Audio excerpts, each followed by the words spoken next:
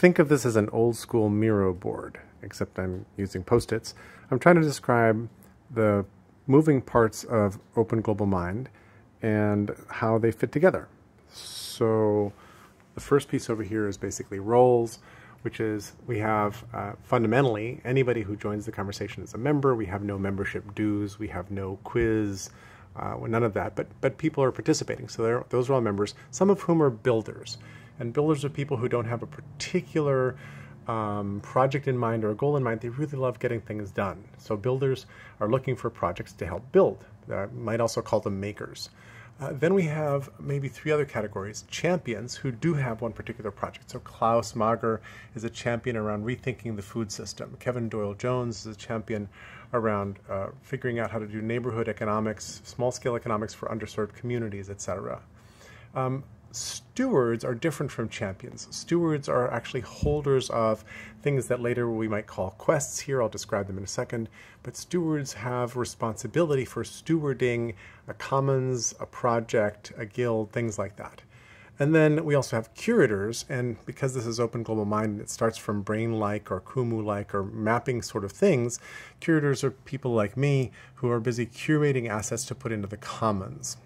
So those are the kinds of members. And then a few members, we have to figure out who's going to do this, but the goal is really to be able to dub a few people who have contributed a lot to OGM and its development uh, as OGM fellows, and to fill a reservoir full of uh, funds of some sort that can be distributed among the fellows so that they can continue to do this peacefully. Um, we're trying to organize as guilds. So the idea of a guild is a particular craft or skill category. And I've listed three here. They're starting points. Uh, and I think we have to sort of look deeply at what kind of guilds are special to Open Global Mind uh, because they match the kind of secret sauce we bring to things. So uh, one of them is called Map Whisperers.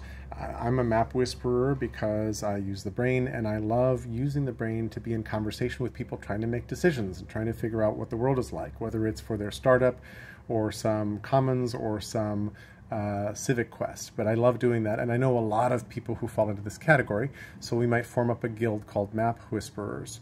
Uh, another one is story threaders, which I've described elsewhere, but is basically how do we create expansive thinking around a set of ideas, enhancing a meeting, for example, with expressions of the, the, the shiny nuggets that would have been dropped or lost in ordinary process. So uh, how do we create a guild of practitioners of story threading? And then this one, just a placeholder name, but space holders, because we have a lot of black belt facilitators and people who are trying to create that open-hearted space uh, so uh, how do we form a guild there? And does that guild overlap with Peeragogy and Liberating Structures and other sorts of places? Or maybe do we join their guild? But I think there's a, there's a place for that. Um, we then organize ourselves around quests. And quests are time-bounded. Quests are projects that have an ending. So one quest that is active right now that we're just sort of manifesting as a quest is the idea of what is OGM's organizational structure and what are our governing principles. Another one that needs to exist is how do we bridge to other organizations? What is the process of outreach so that we can uh, really fruitfully approach other organizations and say, what do, you, what do you need? Here's what we do. How can we help you, et cetera, et cetera. Uh, another quest is, hey, we already have a few too many platform choices and where we're putting our assets, what should that be? And how do we decide on that? Uh, there's clearly a quest around learning, which could turn into other sorts of things, but, but we have a lot of people deeply interested in learning, and Kiko Lab is doing the cool laboratories, so that, that clearly is the heart of, of this quest. Um, Klaus would be on a quest for the regenerative agriculture and food system, and we, and we need to figure out what are the other moving parts of that.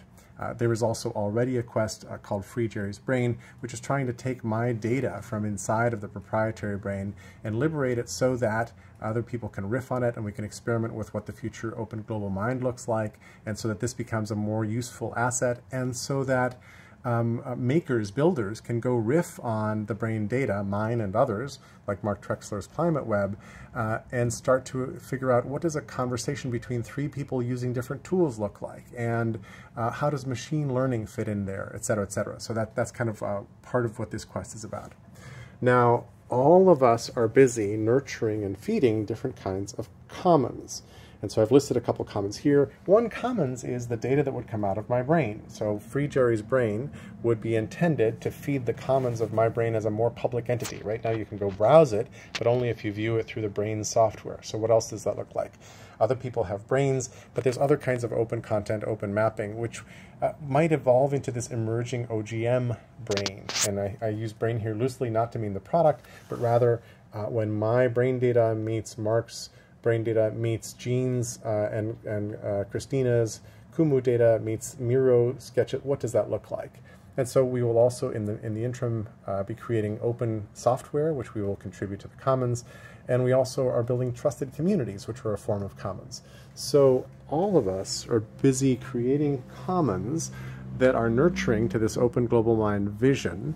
And this chart is meant for, in particular, for new participants, new members coming into OGM to find their way to the quests that are interesting, interesting to them, the guilds that are interesting to them, to label, label themselves as a particular kind of role. And I'm almost forgetting um, we have partner organizations that are their own entities. So Collective Next is a going concern. Part of the reason OGM exists is that I met Collective Next and we all started brainstorming on what, what you're hearing now. Uh, Chico Lab, uh, Lauren and Charles are busy doing things. Uh, Pete Kaminski is forming up CSC, which is brand new and kind of spinning out of OGM in, a, in an interesting way. These are all partner organizations that remain independent entities, but are deeply enmeshed. So a Collective Next I've listed here is a, fu a funding, a founding partner. Uh, and then there's other organizations, and there are hundreds and hundreds and hundreds of these. In my brain, I have a thought about OGM neighbor communities, like the Peer-to-Peer Foundation, Theory U, and a series of others. You know, uh, Presencing is part of Theory U, and so forth. But, but the outreach process is meant to figure out how do we bridge to partner organizations how do they find their way in to become members?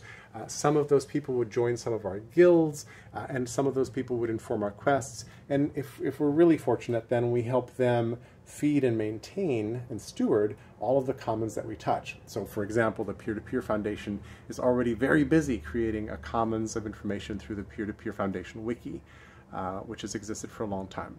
So that's a, an attempt to describe sort of the moving parts of OGM, all feedback welcome. Um, thanks very much.